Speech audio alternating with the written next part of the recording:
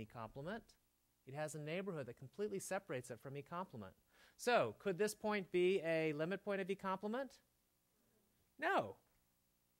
Therefore, E complement contains all its limit points. Happy? Okay, so for any x in E, x is not a limit point of C. Is not a limit point of the EC, the E complement. Because if it were a, a, a, limit point of E complement, any neighborhood of x should contain a point of E complement, and this one doesn't. So this is the same as saying E contains, E complement contains all its limit points. And notice, uh, of course, I wrote this in a uh, with all the implications bidirectional. You can check that the same proof works backwards. So um, we have uh, E's open if its complement, if and only if its complement is closed. Yes? All right. So complements of closed sets are open. Complements of open sets are closed. What can we say about unions of open sets? There's a question. Uh, let me, um, I think I'm going to uh, erase this board.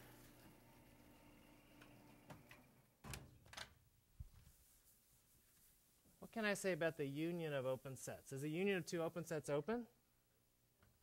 Really? Why? Paul? Well, I, oh, you had a question. Okay. Um, so if a set E is clopen, is its complement also clopen? Yes. If the question was if a set is clopen, is its complement also clopen? Yes. So, for instance, you know a clopen set R in R. So if you have a in the metric space R, if you consider all the points, that's clopen. What's its complement? The empty set. Is that clopen? Yes. Excellent. Okay. Do you know any other clopen sets in R?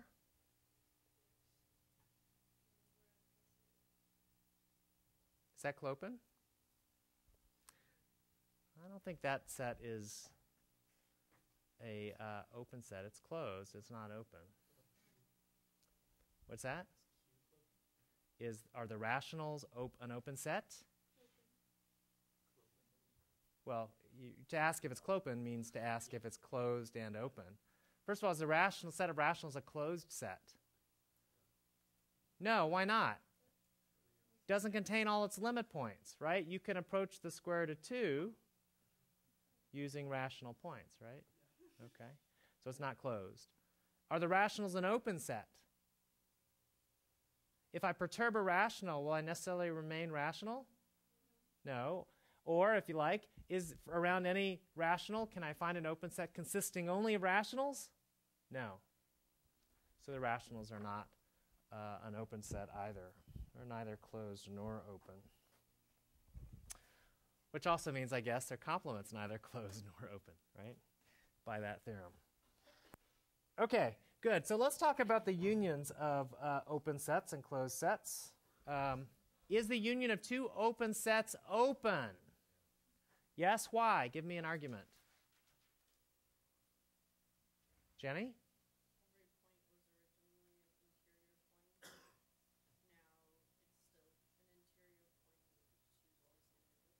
Very good. Every point of a union of two open sets was interior to one of the sets. So it's true then in the union of the two sets that every point is going to be interior to their union, right? Because it has a neighborhood around it completely contained in one of those two sets and therefore contained in both of those sets. Okay, what if I take a union of infinitely many open sets? Is that still open? There's a question. How many people say, yes, it's necessarily open? How many people say, no?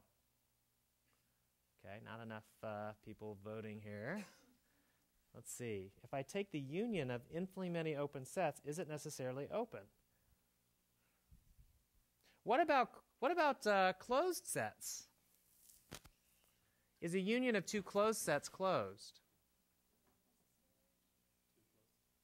Union of two closed sets closed. Yes. Okay. Um, we should be able to come up with an argument for that, but most of you believe it's yes, right? What about the union of infinitely many closed sets? Is that necessarily closed? No. Some of you have probably have some examples here. So here's the question about unions and intersections.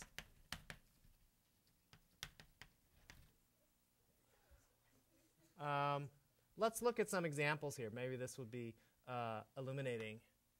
Suppose I look at the, the following sets Ki, which would be uh, the closed intervals uh, minus, um, let's say, 1 over i. I don't know why I chose the letter i, but okay. It's just harder to write. Uh, minus 1 over i to 1 over i. That's a closed interval. Like so, yes? Centered around 0. So 1 half to minus 1 half. This would be k2, yes? Happy with that? K3 would be, oh, I don't know if I like this one. Yeah, so let me do this. Let's go from minus 1 plus 1 over 2i to uh, 1 minus 1 over i. That's the example I wanted. So this is still k2, but k3 goes from 2 thirds to 1 third. Uh, sorry, uh, minus 2 thirds to positive 2 thirds. That's K2. This is K3. K4 is a little bigger. K5 is a little bigger. Get the picture? It's one fifth away from 1 and minus 1. Now, suppose I take the union of all the KIs. i goes from 1 to infinity. This notation means union all the things for, for all the k's. What do you get? What set is this if I union all these closed sets? Basically, I get anything from 1 to minus 1 except 1 and minus 1. Are they ever in any of these sets? No. So in fact, uh, here you get minus 1 to 1, uh, a set that happens to be not closed. So here we have the infinite union of a bunch of closed sets that is not closed. So uh, this perhaps points out that we should be a little careful, okay, with applying arbitrary unions. Hmm. Okay. Well, let's let's see if we can prove some things. So let me prove a little lemma. So uh, suppose I have a bunch of, uh, here's a collection of sets. I'll call it E. Why did I, uh, what am I indicating when I subscript it with alpha? There might be uncountably many in our collection. And if you want, you could also just tell people that you're taking from some index set A if you want, but you don't have to. This, this is enough to signify we're taking a possibly uncountable collection. Uh, I claim the following is true. This, will be, this fact will be useful. If you take the union of a bunch of sets, possibly uncountable collection, and I take its complement, I claim this is related to the complements of each of the sets in some way. Do you know um, how it's related? It's the intersection of all the complements, yes. So if you like, really, what we're saying is the complement of a union is the intersection of the complements. Very important fact. Let's prove this.